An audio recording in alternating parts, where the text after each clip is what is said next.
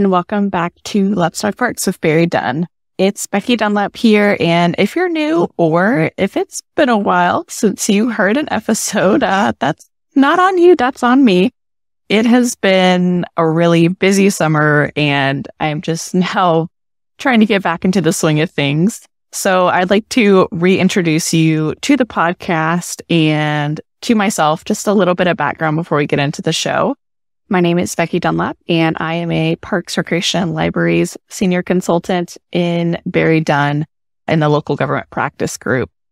And we do all sorts of planning, master planning, strategic planning, feasibility studies for primarily local governments, municipal and uh, county government, sometimes regional and beyond. And you may be asking, where have you been? Well, I have been finishing up the strategic plan for one of my very favorite clients, Evergreen Park and Recreation District in Colorado. And it's just been a fantastic plan. And as we reach the finish line, I just want to give my full attention to that.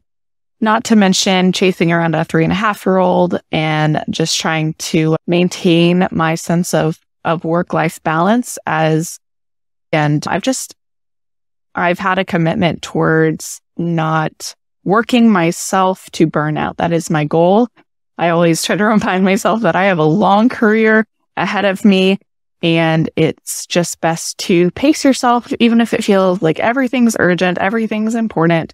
The reality is that's just not the case. And sometimes we have to shift back and forth to the different things that matter to us. And sometimes that means dropping the ball. I feel like I dropped the ball on the podcast this summer, but hey, sometimes that just happens. And I think the best thing we can do is to brush it off and to move on and just to do the next right thing, to do the next right thing. And yes, I keep seeing that song from Frozen 2 that tells you where my mind has been.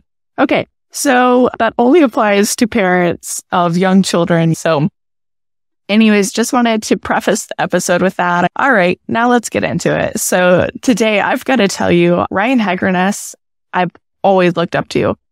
I saw him first speak. It was probably back in 2016. I think it was either, I think it was at NRPA and he was talking about marketing and technology. And I instantly was intrigued.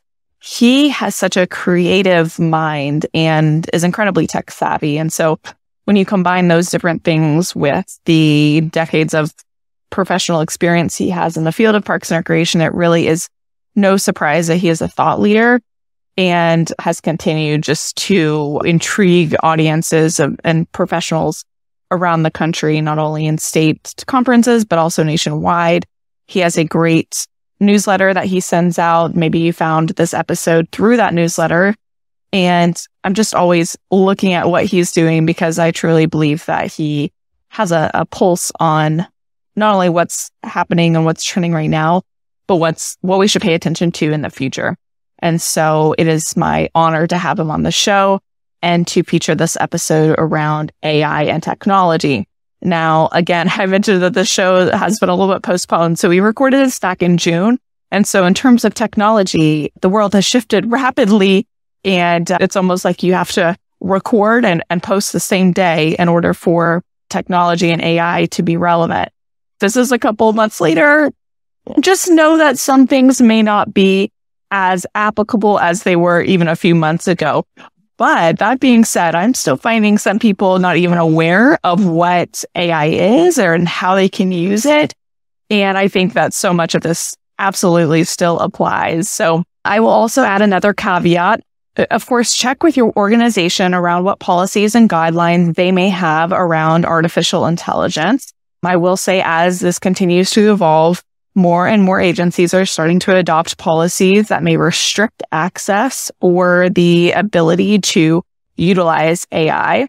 And so, of course, that's something that you will have to manage and take responsibility for.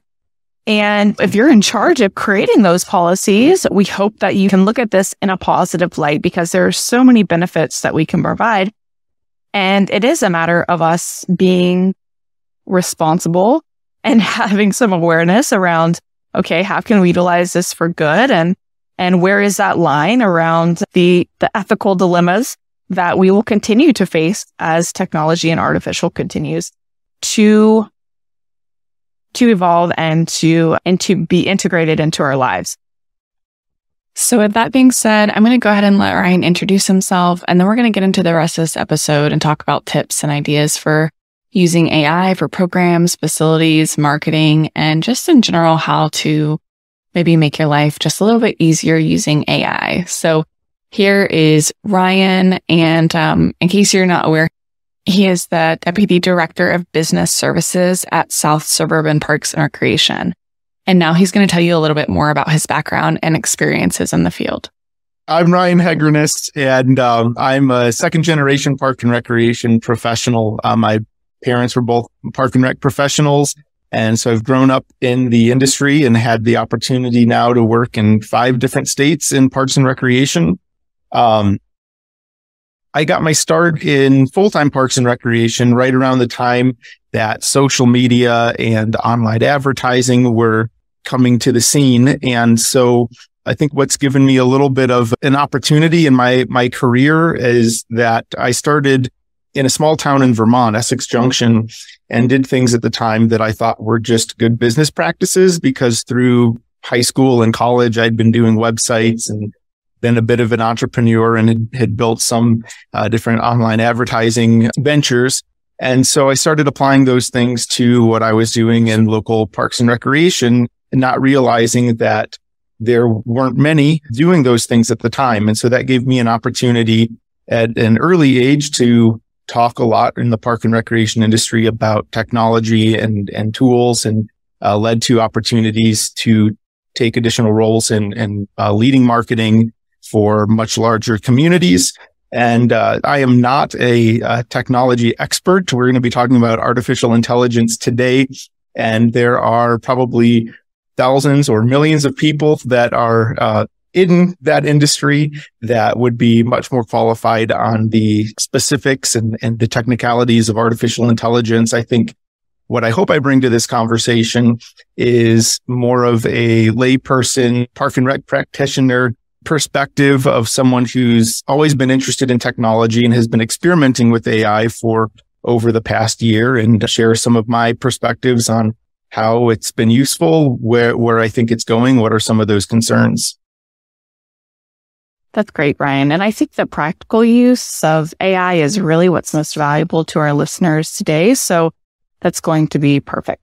So in your own words, let's talk about it. What is artificial intelligence? Can you just kind of give us a brief overview of what it is and what we should know before we dive into the specifics of how it applies to parks and recreation? Sure. Artificial intelligence can mean a lot of different things.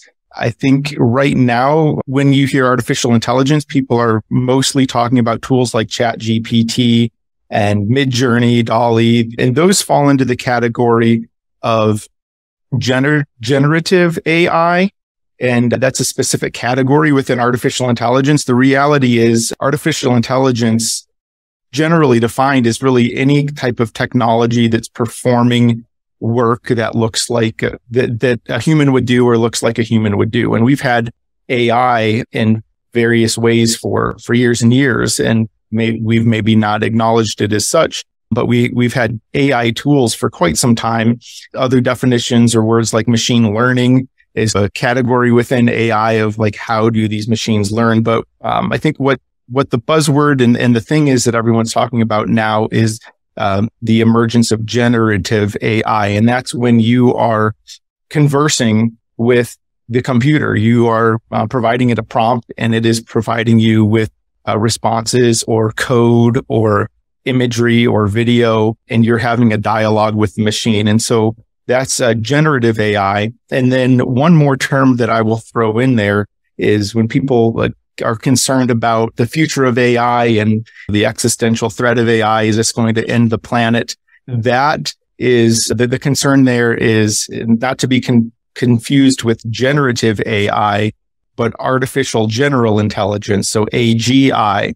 And that's the idea that artificial intelligence is now at the level where it's thinking on its own and coming up with its own solutions And we aren't there yet. So we'll, we'll be talking about tools like ChatGPT, um, GAI, not uh, AGI. So the difference might be that I can ask ChatGPT to perform a specific task and, and it'll do it. If I were uh, talking to artificial general intelligence that had a mind of its own, it wouldn't, I might ask it a question. And instead of it performing the task, it might tell me, I think you're asking the wrong questions. You should be looking at, and that's, that's that idea that uh, AI is now taking on a mind of its own. It has, has its own thoughts, it, it may be feelings and, and things like that. So that just, there's a spectrum of what AI can mean. And we're talking about generative AI predominantly today.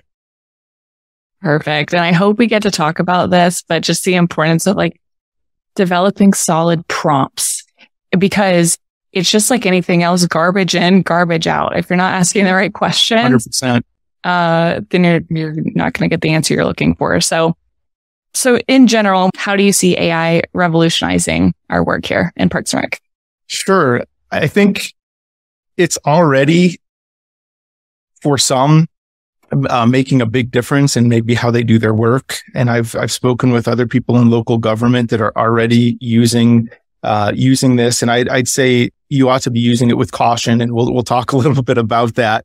Um, but I think what's around the corner is is potentially mind blowing. But uh, to your point about garbage in, garbage out, I'll, I'll provide an example. When I was first experimenting with Chat GPT, and I guess to be specific, I was actually using the OpenAI Playground, which is which was a different tool than than Chat GPT, and was experimenting with some prompts of how might I use this in the workplace.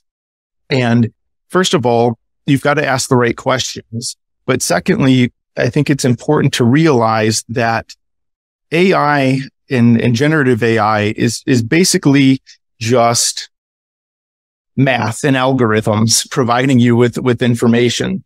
And so it is providing you the best probable answer, not necessarily the right answer. So based on what you're asking it, it's, it's, it has access to trillions and trillions of pages of text and data and so forth. And so based on the question you're asking it, that algorithm is providing you something that is probable for what you are looking for, but not necessarily right. And so the example that I'll share is I started asking some budgetary questions. And at the time, ChatGPT was limited to a data set from 2001 and earlier. But within the playground, you could, you could point it to existing data sources. And there are a lot of tools now uh, for AI that, that are on the open web and can access those other data sources. So I started asking it some budget questions about a park and recreation department and it started giving me answers immediately. And I was blown away. Tell me how many staff this agency has. What is their budget for staffing? What is the cost recovery? All of these questions. And it's just immediately churning out answers and they looked really good. They looked and, and they looked to me, someone who's even in the industry, they looked right. And, so, and then I started, but I'm like, I, I want to make sure. So I started asking it for the citations of where it was getting the information and it was providing me with specific page numbers. Oh, on this budget document on this page. And so I, I thought, okay, this is actually real information. And so then I had it start comparing one agency to another and got these really useful insights. And I got really excited because I thought these are things that might take a business analyst a, a, a day. A, a recreation director might say, Hey, I want to know these 10 different things about the budget. And they're going to be crunching numbers and looking things up and take quite some time. And here it's spitting this information out immediately, which is really exciting. But then I started opening those documents myself and looking at the numbers and realizing that it gave me information that looked right, but it wasn't actually factual information. So that's where we are right now with, with AI. And the exciting thing is we're right around the corner from those types of problems being solved. But that's the, the big challenge with, with AI right now and the tools that most people are using is it's, it's giving you information that um, may look right, but may not actually be right. And so they're starting to build tools. I was just using the, the Bing, uh, Microsoft Bing AI the other day, and that will now tell you exactly what it's searching for to answer your question and then provide citations, which I think is really important. Another example is I thought, well, this could be a really good tool for someone that's looking for a job. So at the time I, I asked, show me executive level park and recreation jobs in Western states with salaries over X and provide the job title, the uh, a brief synopsis of the job and the pay range. And boom, it spits out 10 different job opportunities theoretically that are open in the area that meet those specific criteria. And, and think you might be, it might be someone that's fresh out of college and has an interest in natural resources and says, find me entry level jobs, natural resources that pay within this range or within this state and how useful that might be. Um, and I also asked it to provide a link to the job posting and it did. Some of those links were actual links to job postings and some of them were completely fabricated.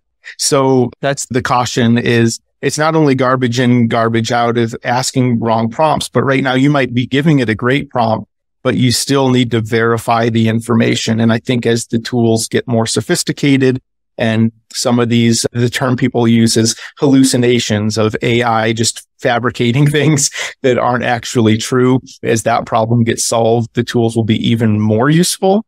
Right now, where I see it being incredibly useful is for idea generation, for, for research and for helping with writing, writing style, grammar, things like that, and being able to generate useful text, maybe not as a final product, but as a, as a uh, fast starting point. Well, that's so helpful. Thanks for sharing that. I also think that idea generation and brainstorming, it's so helpful. You can just continue to ask it questions, but you're right. It, it will present information in a way that seems very factual. You can't tell from the tone of of what it's giving back to you as to whether or not it's accurate or not. So mm-hmm. there takes a good amount of fact checking if you decide to use it in the, some of the ways that you were just describing. Right. On this, I may, may be a good time. You, you mentioned idea generation. And one example of that is uh, a few months ago, another park and recreation professional reached out to me.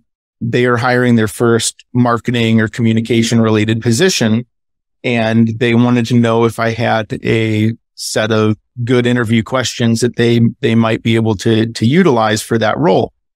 And I asked them specifics. Okay. Well, what specifically will this position be doing? And I was able to share um, some interview questions that we had used previously, but I also went to chat GPT and, and my prompt was something to the effect of, you are the hiring manager for a local park and recreation district that's hiring a marketing position to do the following functions, blah, blah, blah, blah, blah.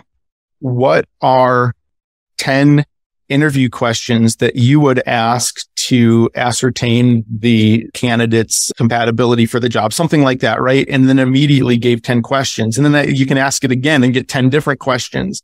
And some of them were really good.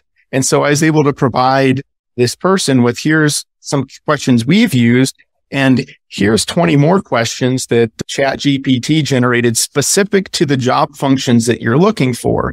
Now, I wouldn't suggest just taking that straight into the interview and using that for the interview, but now you've got 30, 40 interview questions, potential interview questions very specific to that role that you can choose from and say, okay, what makes sense for me to use? Or maybe I'll tweak this question a little bit to make it more relevant. And that's something that, you know, in, in five to 10 seconds, you get that output versus in the past for, for these roles, you might go online and search for for interview questions, or you may be reaching out to a colleague and that may take a considerable amount of time to get that information.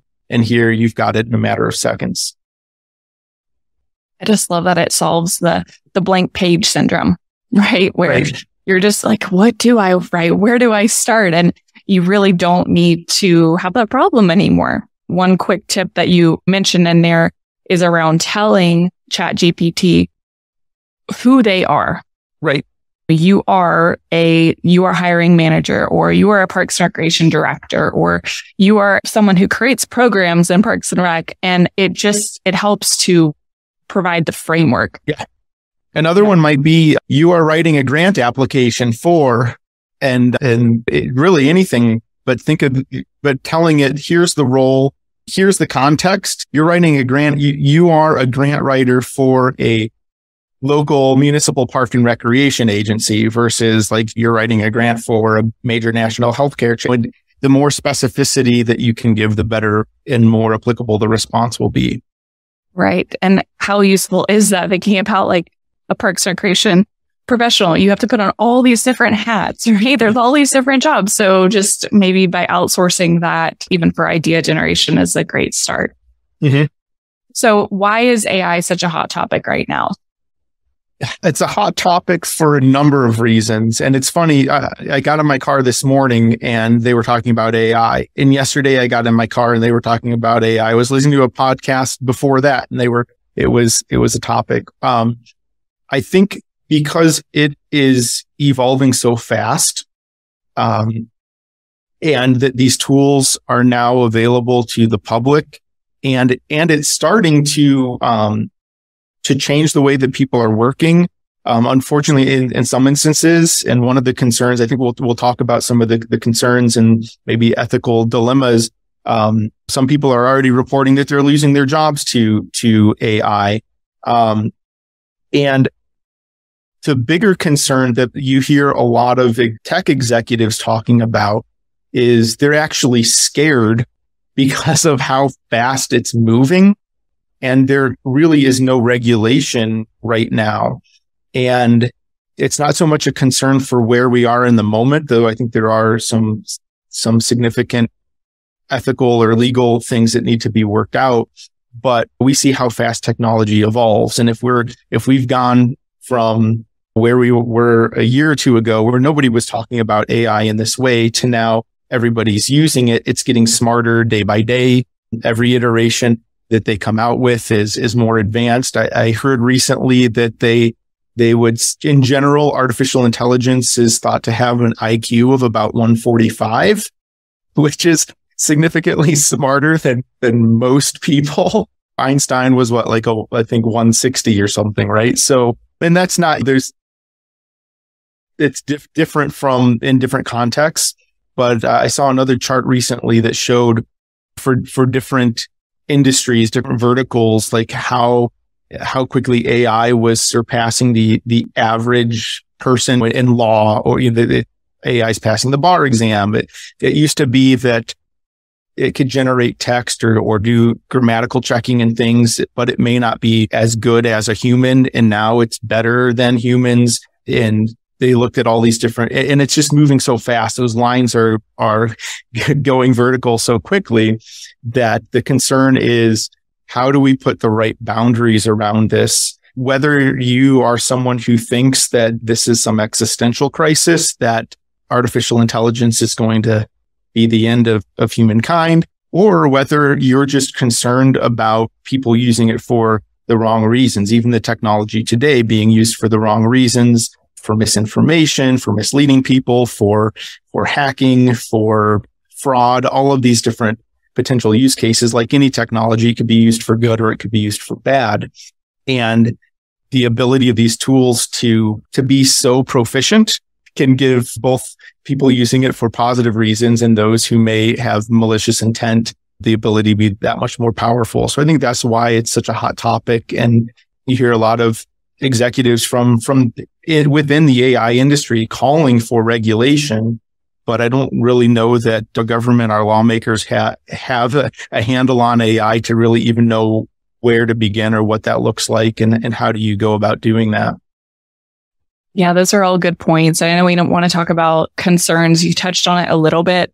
I think from a, a personal perspective, it almost feels like, well, there are a lot of unknowns, but if I don't explore how to use it the best of my own ability, which is what we're going to talk about today, how you can use it in your jobs, then the whole concern around, well, will it take my job? We can't just live in that fear. We have to figure out how to get ahead of that and start researching and planning. So at least we know how to use the tools that are available to us right now. Yeah, a, a quote I came across recently and I wrote it down. It was, this is from Mo Gawdat, who is a former Google executive and involved in AI and uh, recently did a, a podcast with, I think, Steven Bartlett that received a lot of attention because he's, he has an alarmist view about AI and where it's heading. So I guess I, a, I'd, I'd encourage people to maybe check that out. And then on the other end of the spectrum, in the same week, I saw a an article by Marc Andreessen, who's also a tech executive, Silicon Valley venture capitalist. And his take is why AI is going to save the world. So there's two different perspectives. No, it's going to save the world. It's going to end the world. But, but Mo said AI will not take your job. A person using AI will take your job. And I think, especially right now, um, I think that's, that, that's a quote for like in the moment, like AI is probably not going to take your job before somebody who's become proficient in utilizing AI to be that much more effective at the work that you're doing your, your job might be replaced by somebody who can do your job and two other people's because they're more efficient in that. And we've seen that happen before with tech, technology advances. And, but I think there's some bigger concerns when it comes to AI and how many jobs or what those might be. That's really interesting. And that's a really good point. So that's why we're going to get ahead of some of this today and explore some of those solutions. But do you have any concerns that you personally have impacts to the field that could be negative too. Sure. A few kind of more, maybe more ethical than legal. So one, one, one of the first AI technologies that I experimented with was some of the image generation platforms. And there were, there were a couple concerns there. So in this, like similar, but different from ChatGPT, ChatGPT has, has access to trillions and trillions of pages of, of text and information, and it will put together a probable text-based solution. Um, with tools like Midjourney or DALL-E, um, you're providing it a prompt and it's creating imagery for you. And it's pulling from um, having viewed, scanned, whatever you want to call it, millions and millions of images that are out there. So if I ask for a picture of someone sitting under an umbrella at the beach, it knows generally what someone sitting under an umbrella at the beach looks like and will generate an original image. But that image is based off of other artwork. And so there have been professional artists who have said, Hey, this looks an awful lot like artwork that I've created. And so the, the legal debate there is, should these engines be using professionally created work as part of their, I guess, knowledge base, if you will? And then that may be showing up in some form or fashion in these images that are being created? How, how does this impact the art industry? Should they be compensated? Should artists have the ability to specify whether or not AI has access to that information as a user of a, of an image generated? What are my rights or do I have liability if, if it's using someone else's copyrighted work? Where does fair use come into all of this? That's, that's one of those, um, eth- ethical concerns. And you might say maybe perhaps maybe some of the same might apply to chat GPT and where it's pulling information from.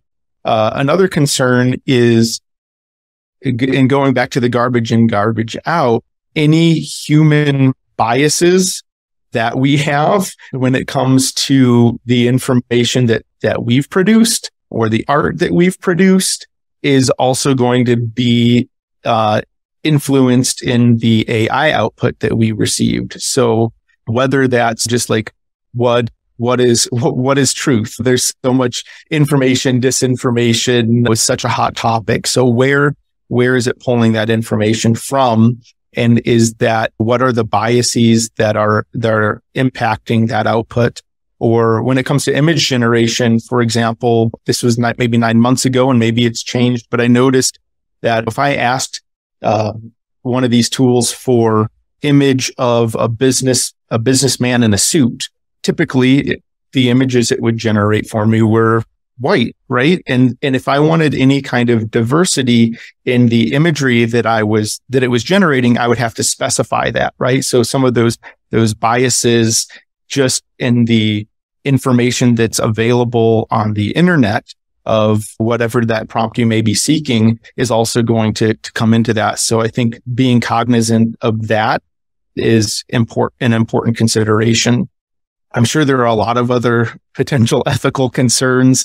We've talked a bit about the jobs and the, how that may, may replace jobs and what does that mean? I think the bigger one is just people's intent in using it. So I think there individuals who've lost jobs now, you hear are a lot of uh, people generating content for like these, these blogs and news sites that are just churning out junk articles anyway, right? So if your job is churning out 20 junk articles a day for some, some news site and AIs now can generate junk articles, then I think there's a race to the bottom. Like, oh, well, now we can now mass produce bad content versus like someone who really cares about a subject and has subject matter expertise or is a journalist and is actually, I think there's a lot of ways in which there may be more of a need for that, that strong human touch to things. But if you're just looking to create articles to get clicks, then I think that's where we're seeing some of that job loss. But I think that's going to shift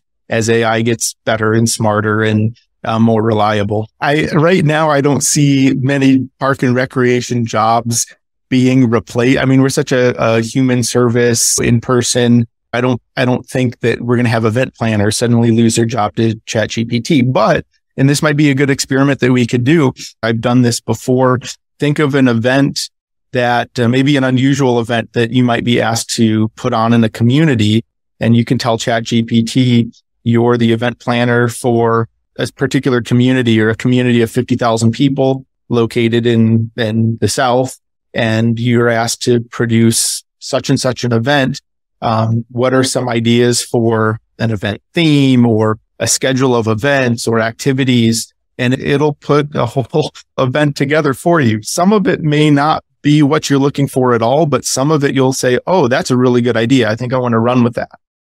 Right. Exactly. You still have to have the discernment to figure out if it's right for you and your agency, but it gives you a good start.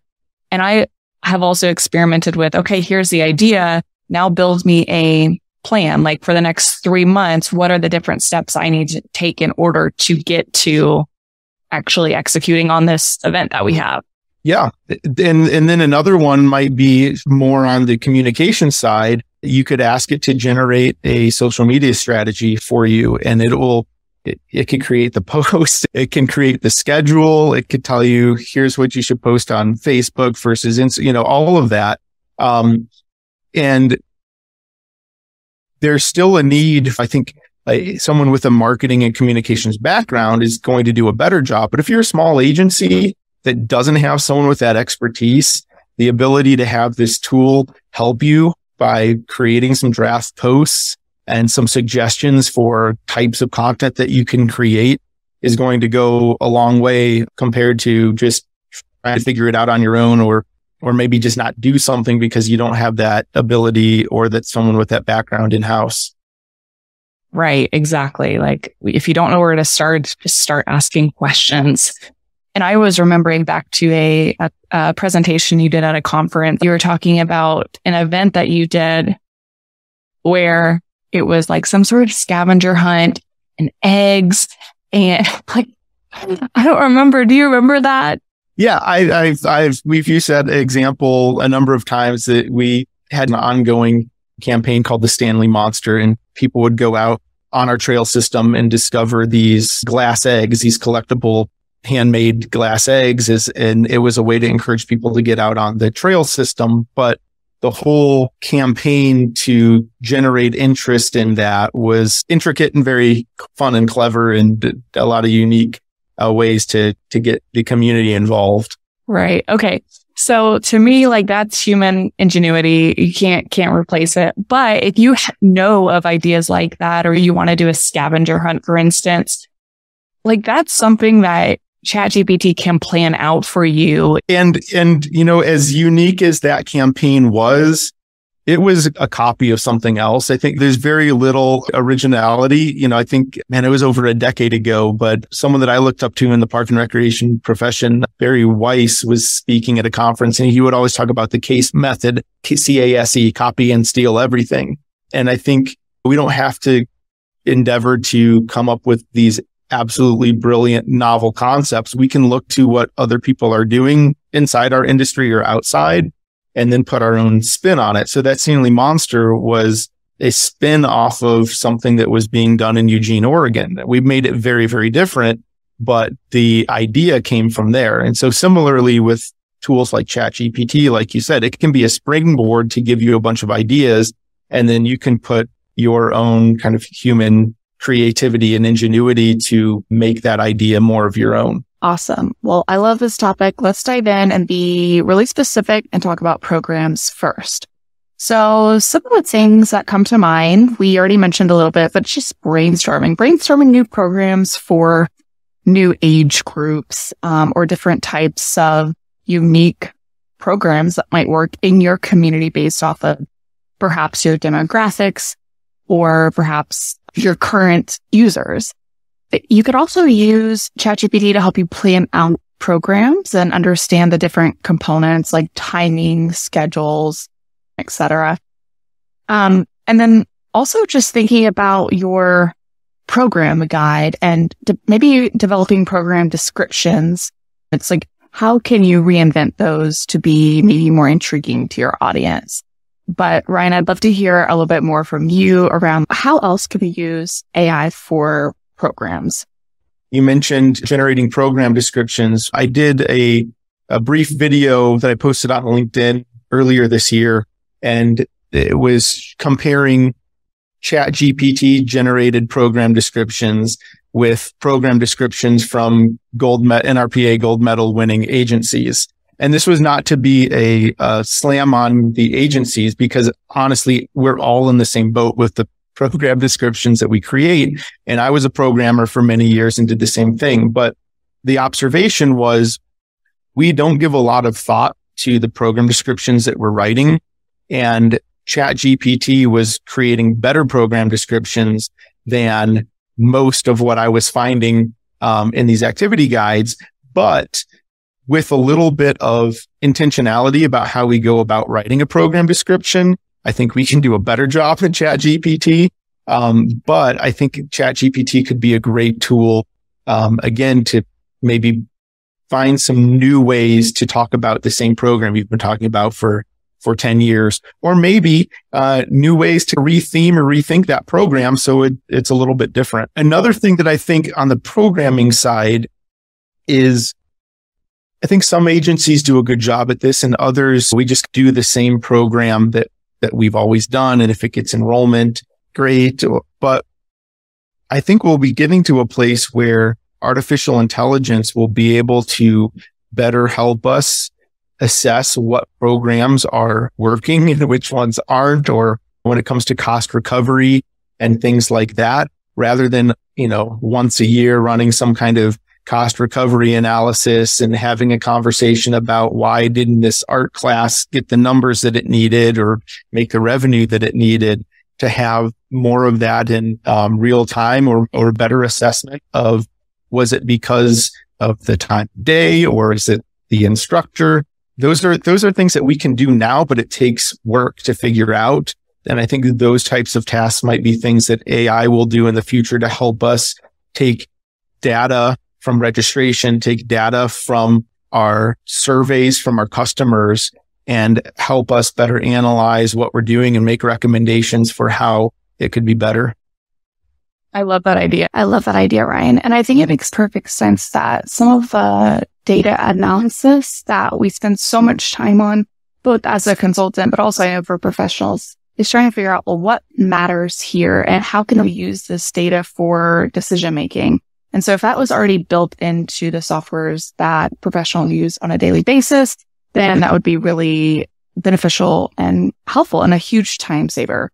Another idea that you made me think of is just around our, the idea of website optimization. But I would love to see parks recreation agencies utilize a tool or some sort of quiz or survey where when someone comes onto your website, they're able to fill out a couple of questions around the age group that they're looking for or what they're trying to learn or their availability and interests. And I think being able to make something incredibly user friendly, it's just a gap for us.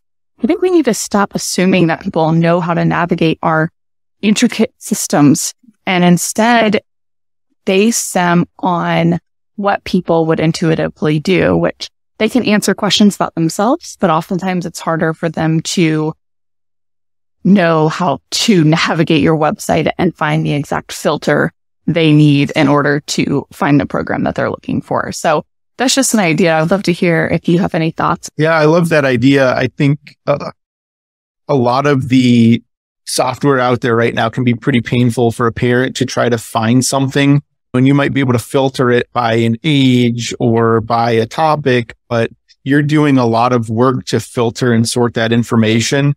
And if it were just simply a chat bot on the site and you said, I have a very active four year old that's interested in X, Y, and Z, what programs do you have? Or I have an active four year old and I want to get them into some sports and we're only available on uh, Tuesdays and Thursdays after 5 p.m.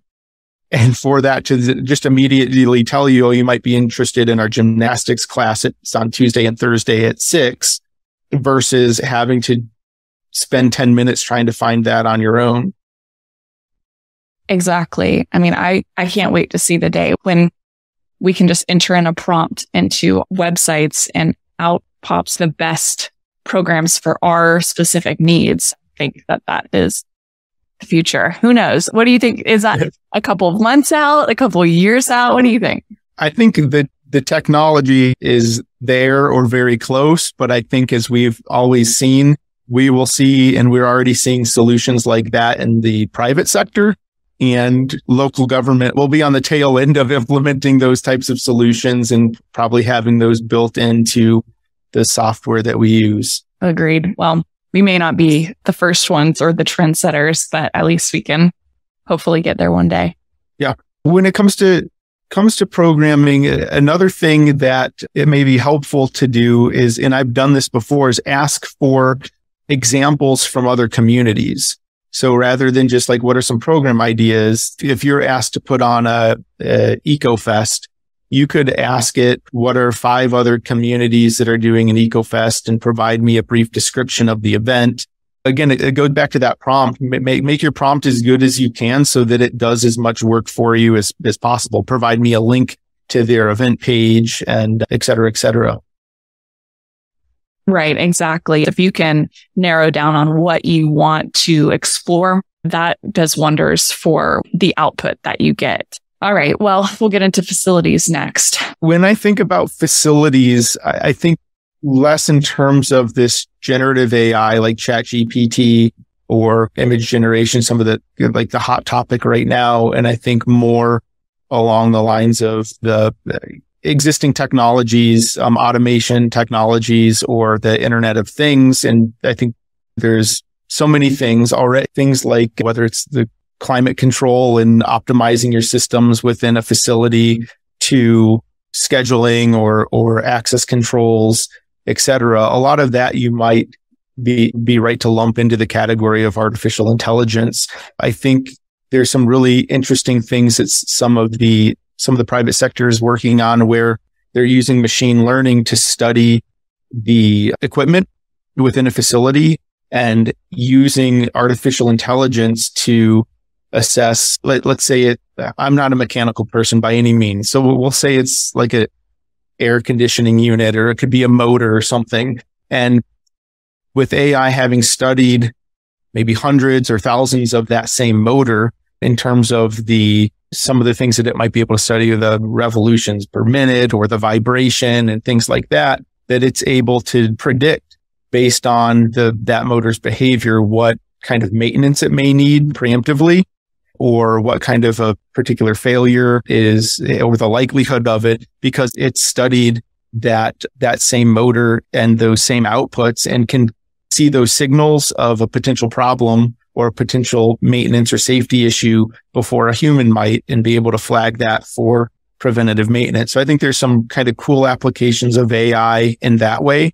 I think there's just so much potentially already when it comes to aquatics and chemicals and measuring and balancing and things like that. I, I remember growing up in aquatics and every however a couple hours you're scooping the water and putting the drops in and you're looking to see okay what shade of red is this? And then what adjustments do i need to make versus a computer doing probably a much better assessment of that and then making those adjustments? Right. I think that we're probably at the stage of we're collecting or we're starting to collect all of this data and then it will help to have ai start to interpret that information right um, for instance, with mobility data, right? From something like we're using Placer AI. Mm-hmm. And so just to understand which days have the highest visitation, what times have the highest visitation. Right. or even within the facility, what rooms are underutilized. And again, that's info that we, we could have or you may have, but I think for, for a lot of departments, that's maybe not as actionable because somebody has to then look at this and analyze and having that information right there at your fingertips, I think will help us make better decisions faster. Right. Yeah, absolutely agree.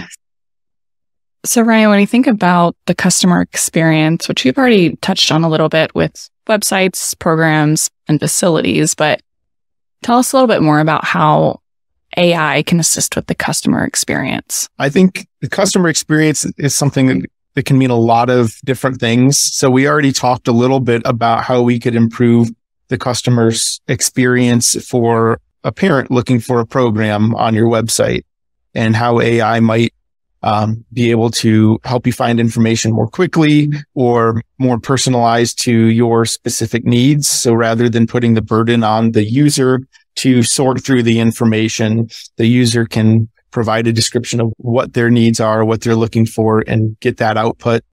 I think other ways that AI could help improve user experience is right now we, an agency may be collecting a lot of survey data, but, but may not be taking action on some of that data. And I'm thinking back to one of my first jobs. And when I started, there were stacks of paper surveys. And like after every program, parents were filling out a paper survey but then that paper survey was sitting in a stack somewhere until somebody either just read through it. And I think that maybe was what happened in the past and just relied on your own memory or feeling after reading a hundred of those surveys of what people wanted, then taking that data and actually typing it into the computer, um, and putting it into Excel and then being able to make some decisions based on that. And then taking the next step. Well, well, let's skip that step and have an online survey and get that data to make decisions. But I, I think a lot of times we collect that information and whether it's sitting on a paper stack on the desk or whether it's sitting in a database on your computer, are you actually going through that to try to make informed uh, decisions or not? And it takes effort. And it want, something that I would, I did, we had so much survey lesson data and we were able to plot that and do a heat map where I could see um, trends based on maybe who a particular instructor was that was consistently getting lower scores. And you would never pick up on that if you're just thumbing through the surveys or if it was a particular time of day, or are we offering this class for younger children too early in the morning when it's cold and that's why the scores are lower? Like you don't know those things unless you analyze that data. And you can do that for a program or two, but can you do that for everything across the board? Probably not. But could AI? Certainly. So I think, and that's helping you improve your customer experience by making better informed decisions. There may be other ways that AI could help make those better customer decisions as well. But I, th- I think collecting user input and then help having it help you make actionable decisions for your customers in whatever way that looks like is probably the biggest key there. Awesome. So for our final part of this episode, we're going to be talking about marketing and communications. We know historically that agencies are underfunded and understaffed when it comes to marketing. And so we think this is the prime opportunity to utilize AI to fill in for some of those gaps. Ryan, tell me what should we be thinking about when it comes to marketing, communications, copywriting, social media, etc. And how can we use AI to improve what we do in that area? So, well, I, you mentioned copywriters and I, I think you're absolutely right. But in the context of parks and recreation, how many true copywriters does any park and recreation agency actually have? Um, maybe one, maybe two if you're a large agency, if you're fortunate, right? Um, but who's writing most of the copy? Um, you know, your program descriptions are being written by programmers who are not copywriters or, or marketers or journalists or anything like that, right? And so I think that's a huge opportunity to do a better job of communicating. And this is not taking anyone's job. This is just doing the work you're already doing and making it better. And I'll, I'll give an example. Recently, a colleague forwarded me a news release, a blog post from another community. And I won't say the community.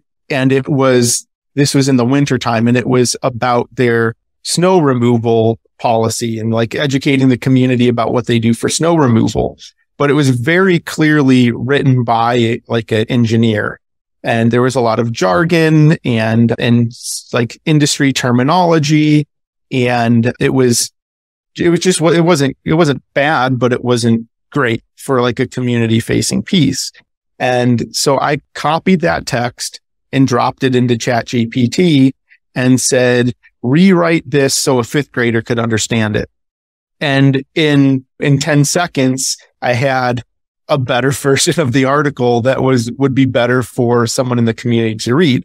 And then you can have fun with that as well. And maybe you want it in a particular tone. I wouldn't recommend either of these, but uh, just texting this back and forth with a friend. So after I got the, the better version, I asked chat GPT to rewrite that and you could pick anybody, rewrite this in the style of and pick somebody with a particular like notable speaking style or writing style. So the two I did, I, I asked it to rewrite it as if it was Ted Lasso. And, and then, and again, the specificity there, I didn't just say rewrite this as, as Ted Lasso. I said rewrite this as Ted Lasso and include some analogies like Ted Lasso would use. And so then it provides you a much more playful um, explanation of your snow removal. And yeah, I don't remember specifically, but it, may have been something like, uh, snow removal reminds me of when I was a kid playing with matchbox cars in the sandbox. So like it, it's coming up with like some creative Ted, Les- Ted Lasso like way to explain snow removal or, and not to get political, but someone else with a very distinct speaking style, Donald Trump. So I, I'd asked it to rewrite it in that style and it came out with something to the effect of we have the, we have incredible snow removal policy. We have the best snow plow drivers in the country. Right. And just like it's that quick to rewrite it in a particular style. So if you want to have maybe a more playful tone with something or you're reaching a specific audience, you can take something from an engineer or from a subject matter expert and not only make it easier to read, but come up with some ideas for maybe a better way to describe something or a more playful way to communicate the message. This may not be quite marketing communication, but I want to make sure I mention this. Um, the idea of utilizing it for like prototyping as well. Um, so my brother is an artist and an engineer and, and, uh, does a lot of really creative stuff. And he had a new business idea and he sent me some mock-ups of some some models of what he was thinking of creating. And I was like, wow, these are really cool. This is really impressive. Like, how did you create? I, I thought he was using CAD software to come up with these very specific models of uh, some new art he wanted to make. And no, he just was using Midjourney and giving it very specific prompts and refining those prompts until he got exactly what he was looking for. And um, rather than having to learn how to do 3D modeling on a computer and um, spend months trying, trying to figure it out in a matter of minutes, he's generating these these models. And the same could be true for if you're looking to generate a logo or something like that. I think you the eye of a graphic designer and their skill set's still going to be necessary, but the idea of generating 20 different ideas um, and thinking outside of the box and then using that as a, a launch pad, bringing this back to that marketing and communication angle um, is a is an opportunity. Um, oh, oh, oh I should definitely mention Photoshop now has. Have you seen this, Becky? The, the tools of Photoshop has, um, the ability within a within a picture. You're doing graphic design, and I'm not a graphic designer, but I've seen a lot of examples of this online where now it has the these abilities built in. So you could have a picture. I'm looking at you right now, and you have a backdrop of of a, a bridge. And I've seen that bridge. I don't remember which bridge that is. Um, but you've got some trees and a bridge in your background. And if I if that were an image on Photoshop, I could crop the tree out on the right hand side and just tell Photoshop to put in a skyscraper. And boom, there's a realistic looking skyscraper. And then I could ask it to put sunglasses on you. And then I could say, no, not those glasses and cycle through 20 different pairs of sunglasses. And then I could ask it to change the bridge into the Eiffel Tower. And the ability to manipulate images uh, is giving designers just such a, a more expansive tool set to you may not get the perfect shot that you want, but you can turn it into the, the perfect shot or to extend the background of an image and AI will create, generate a realistic looking background to extend a picture. It's, it's really mind blowing. And I think it's really changing maybe what's real, what's fake, what can we trust? Like there's definitely some concerns there, but those tools are now at, at people's fingertips and, and the tools that they're already using. We're going to see more and more of those AI tools being built into our web browser, built into our apps, built into Microsoft Word or the, the software that you're using every day as a maybe a much more usable version. I don't know if you were around for uh, Microsoft's Clippy little assistant right. way back in what is it the late 90s or something, and but a much more sophisticated assist, virtual assistant built into the tools that we're already using every day. Absolutely. And two examples of that. At one, Canva. I know a lot of people use that. They have an AI generator for images. And then two, Microsoft Designer is their version of this um, AI generated images. Um, so I think it's important to point out any tool that just makes it as easy as possible, something to, to be aware with and experiment with. And I think even if it's just for you personally or your staff to start to visualize like the future of your parks or a recreation center and just to use that as concepts, there's just a lot of potential for it. So definitely. I think it's going to change the way when it comes to like park planning or facility planning and generating concepts or models or, or images of what a park could be. Uh, I think that's another useful application um, that we'll see. Yeah, I think so too. So we covered a lot today programs, facilities, customer experience, some marketing. What do you think overall, like what would be your closing statement to the world, the Parks and Recreation field when it comes to using AI to improve the work that we're doing? That's a lot of pressure. Uh, I, I think my closing statement would be just get out, experiment with these tools. They're relatively easy to use, easy to access. And whether it's something that you plan to use day to day or not, I think it's important to be knowledgeable because it's going to be more and more prevalent in the workplace. And I think the sooner that people get a handle for what, uh, what's possible and what's possible now, what may be possible in the future and how we can better leverage those tools to better serve our communities and to be more efficient uh, I think that would be my closing statement is just test some of these out and see. And, you know, it's not, these are tools that I'm using on a day to day basis, but they're tools that, you know, for specific problems or for inspiration or for research has changed the way I do work. So rather than me opening 20 or 30 browser tabs as I usually will to try to research a topic and understand it, I can use ChatGPT to do that research for me and synthesize it. So I think for me, that's probably right now the, the main way that I'm use, uh, using it is more for like researching information and getting inspiration and being a lot more efficient about it. So just try those tools out. There's so many and there, there will continue to be more. And I think it's, it's exciting. And, and I also share in some of the concern as well of where this goes in the future and how do we get the right the right boundaries on AI so that it continues to be a useful tool for for good but also doesn't create more problems for society because we have enough of those as it is. Yes, we do. We certainly have enough problems. All right. Well, thank you so much for being on the show today. Would you mind telling people where they can find out more information about you and some of the work that you're doing? So I wear multiple hats and uh, one of those is I do some occasional speaking and consulting work here and there. And I do that. My, my website is hegreness.net and I've been sending an, an email newsletter for over a decade now.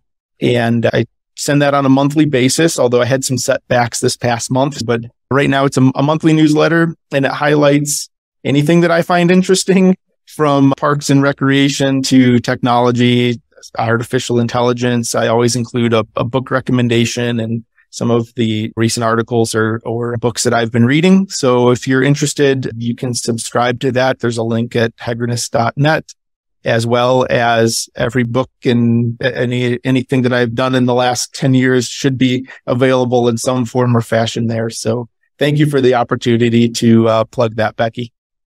You're very welcome. Ryan, thanks for everything you've done for the field. Thanks for your time today. It was a real pleasure. And for those of you listening, thanks for tuning in today. Please share this episode with anyone who might be interested in the subject of AI and just the future of technology and innovation in the field of parks and recreation. That's all for today's episode. Thanks very much for tuning in. And until next time, let's talk parks. Bye.